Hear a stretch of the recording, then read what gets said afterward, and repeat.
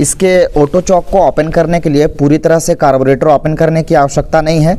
इसे जैसे हम इसके लेफ़्ट हैंड साइड थोड़ा सा डाउन करेंगे और उसके बाद इसके स्क्रू ड्राइवर की मदद से इसे ओपन कर लेंगे। एक प्रोफेशनल मैकेनिक ये काम आसानी से कर सकता है, क्योंकि इसके लिए पूरा कार्बोरेटर ओपन करना, बजाज की गाड़ियों में आपको पता होगा कितना टफ है कार्बोरेटर ओपन करना। देखें, खुल गया और जितनी आसानी से खुला तो पता क्या चला कि ये काफ़ी समय ओपन किया होगा। और वैसे भी कस्टमर का कहना है कि काफ़ी समय मैं विज़िट कर रहा हूँ सोल्यूशन को लेकर बट मिल नहीं रहा। ये इसका ऑटो चौक मैंने ओपन कर लिया है।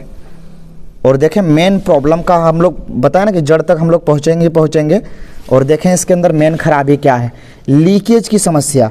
यानी यहाँ से एयर भी लीक कर रहा है और शायद इसके अंदर जो है, पेट्रोल फ्यूल का भी संपर्क है, जिसकी वजह से डस्ट एक्सेप्ट कर रही गाड़ी।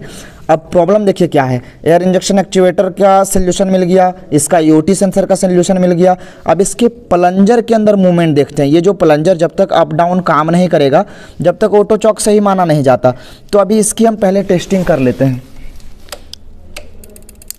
ये देखें। प्लंजर के अंदर परफेक्ट मूवमेंट है, उसके बाद स्टार्टिंग प्रॉब्लम कर रही है गाड़ी। तो मेन प्रॉब्लम क्या है, देखिए, ये ओरिंग का प्रॉब्लम है। ओरिंग की कंडीशन इतनी ख़राब हो चुकी है कि ये परफेक्ट तरीके से जो इसका जो एयर का फ्लो है और फ्यूल का फ्लो है, वो बनने नहीं दे रही गाड़ी। ये देखें कंडीशन पूरी तरह से। और यहीं से लीकेज है आप खुद देखें और कार्बोरेटर का भी मैं कंडीशन दिखा दूँ कि किस तरह से लीकेज की समस्या ये देखें, हर जगह से। तो मेन परेशानी इसी से है। अब ना हमें इसके अंदर कोई सेंसर या एक्चुएटर की चेंजिंग करना है, सिर्फ़ इसके अंदर हम ओरिंग ऐड करते हैं परफेक्ट वाला। और उसके बाद दिखाते हैं। अभी तो हमें पता भी नहीं चल पाएगा जिस तरह से मैंने बताया मैकेनिक भाइयों, कस्टमर का ही फीडबैक लेना पड़ेगा दूसरे दिन कि स्टार्टिंग प्रॉब्लम सॉल्व होता है या नहीं। बट बड़ी समस्या क्या है? ओरिंग का। ये देखें ओरिंग जो है वो पूरी तरह से ख़राब हो चुका है। अब चलिए मैं इसके चाबी स्विच को एक बार ऑन ऑफ़ करके फिर से दिखा दूँ कि प्लंजर काम कर रहा है। ये देखें, सिर्फ़ इसके ओरिंग रिप्लेसमेंट करते हैं और क्लीनिंग करते हैं। हंड्रेड परसेंट जाएगा ही जाएगा चकलाइट भी जाएगा और गाड़ी स्टार्टिंग प्रॉब्लम भी सॉल्व हो जाएगा।